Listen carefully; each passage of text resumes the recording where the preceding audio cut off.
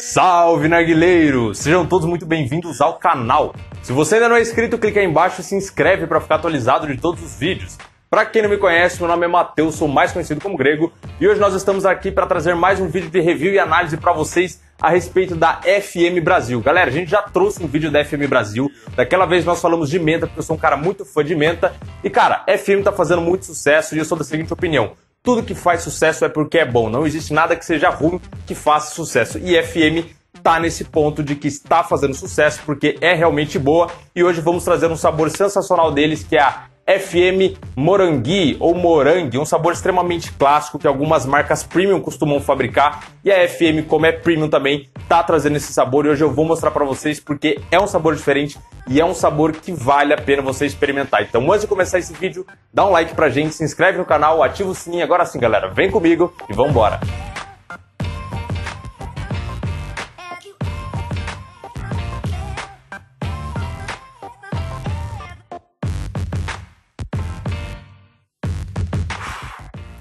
Bom, vamos lá então, galera.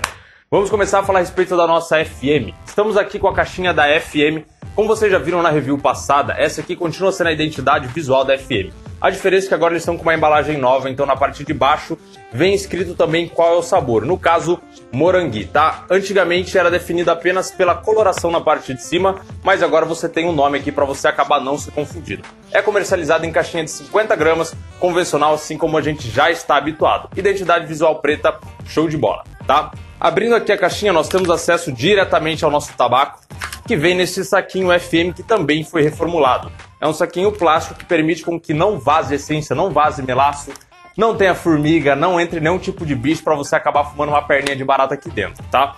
Abrindo aqui, tendo acesso diretamente ao tabaco, nós observamos que o nosso tabaco ele tá um pouquinho diferente. Ele é bem mais picado, eu achei sensacional, ele é quase empapado. Tem uma quantidade bem legal de melaço, diria que até um pouco superior às outras essências. E pelo fato dele ser mais picado, ele tem um aumento de área de contato. E quem, quem me assiste sabe que eu gosto desse tipo de tabaco com mais área de contato, porque ele costuma absorver mais melaço, absorver mais sabor e isso traz mais experiência pra gente. Sem falar que facilita bastante também o nosso preparo de roche, tá? Então a gente não tem galhos e não tem folhas extremamente grandes que vão acabar impedindo com que a gente faça a realocação do tabaco correta no roche, tá? Estou utilizando o Roche SN Bowl, que é o Roche oficial do canal. Dessa vez estou utilizando essa cor azul marinho bem escuro, quase um azul petróleo, para combinar com o nosso setup, com alguns ornamentos do nosso setup, que também é nesse azul um pouco grafite, petróleo, alguma coisa nesse sentido. Vou fazer um pack na altura do pino central, porque como trata-se de uma essência que aparentemente não demonstra nenhum tipo de coolest e alguma coisa frutada com toque adocicado, é sempre interessante a gente deixar ali na altura do pino central para não ter problema de acabar sobrecarregando a nossa essência com calor. Estou utilizando uma folha de alumínio cromo, alumínio oficial do canal, e vou fazer uma furação padrão que é composta de três anéis de furos com furos intercalados entre si, tá? Lembrando que estamos usando também duas peças do nosso carvão IAR Elegance, que é um carvão trazido aqui no Brasil pela distribuidora Monte Verde, que é um patrocinador oficial aqui do canal também, está sempre com a gente com o carvão IAR Elegance, duas pecinhas o suficiente, tá? Então vamos lá, galera, vamos falar um pouquinho a respeito do cheiro da nossa essência e pensar um pouquinho na proposta, né? Quando a gente pensa em FM Morangui, o nome Morangui em si ele não traz tanta menção ao que seria o sabor, né? Eu sinceramente não sei se existe algum tipo de drink que chama Morangui e que tem esse tipo de sabor. Mas a Morangui ela traz uma proposta de manga com toque de laranja, um pouquinho de refrescância, alguma coisa nesse sentido, tá? Então, dando uma sentida no cheiro aqui,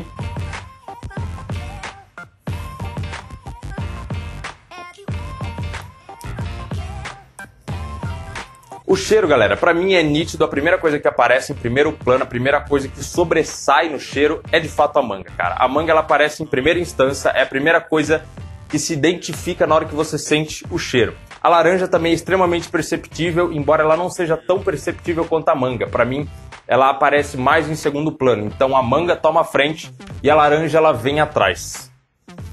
O cheiro é predominantemente característico da manga e dessa forma a laranja ela vem trazer um acréscimo, ela soma o sabor de alguma forma com o sabor da laranja, mas o toque de adocicado é como se fosse o doce da manga. É a manga em si, o sabor de manga com o doce da manga e a laranja entrando, eu diria que aproximadamente uns 25% aproximadamente.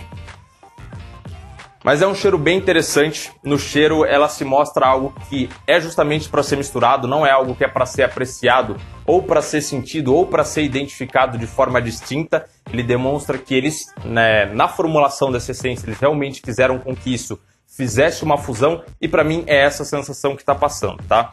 E é isso que nós esperamos. Vamos dar então aquelas três puxadinhas, aquela degustada para a gente experimentar um pouquinho essa essência e dar algumas considerações pessoais nossas para vocês a respeito desse sabor sensacional.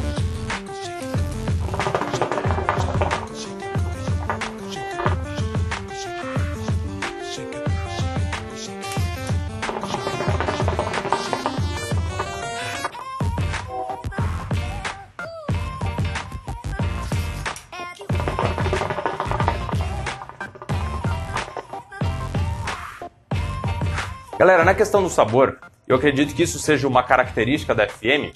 Ela traz no sabor a mesma proposta que você tem no cheiro, quando você sente. Isso, inclusive, eu falei na FM Verde, a de menta, quando a gente experimentou. Eu falei que, cara, o que você sente de cheiro na FM é o que você sente de sabor. É, não tem uma perca de intensidade, então quando você fuma, parece que ele realmente se mantém, é literalmente uma transferência integral do cheiro para o sabor, não tem perca de intensidade, não tem perca de sabor, não tem perca de refrescância, é realmente integral. O que você sente no cheiro é o que você tem no sabor.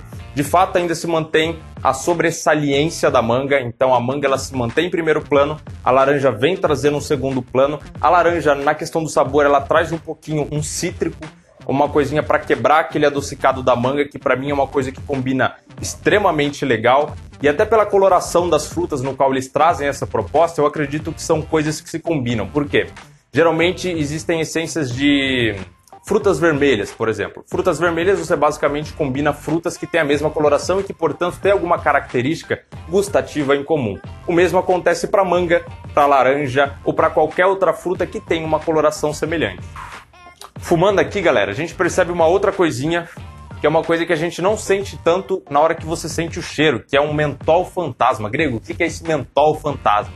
É basicamente um gelado, uma refrescância que você tem no sabor algo que vem gelando, porém ele não traz o sabor de menta, ele é simples, simplesmente uma refrescância, tá? E nós chamamos isso de fantasma, primeiro porque ele não traz o sabor da menta e segundo porque ele não é muito detectável na questão do cheiro, tanto que eu não detectei, mas agora detecto ele no sabor. Isso é extremamente legal porque ele traz essa refrescância com as frutas e isso traz uma quebra no paladar. Então, geralmente frutas estão sempre associadas a coisas tropicais, a coisas de verão, a praia, coisas nesse sentido. Então, o fato de trazer uma refrescância e acrescentar essa refrescância nos sabores de fruta, para mim é uma coisa que está extremamente aprovada. Na questão fumaça, galera, grego é uma essência que tem capacidade de fazer fumaça se eu fizer um preparo correto, fizer um manuseio correto, um cozimento correto e manejá-la da forma correta, da forma como você ensina no seu canal. Vamos ver isso então, tá? Três puxadinhas, lembrando que estou usando apenas dois carvões da IR Elegance sem abafador. Então vamos lá.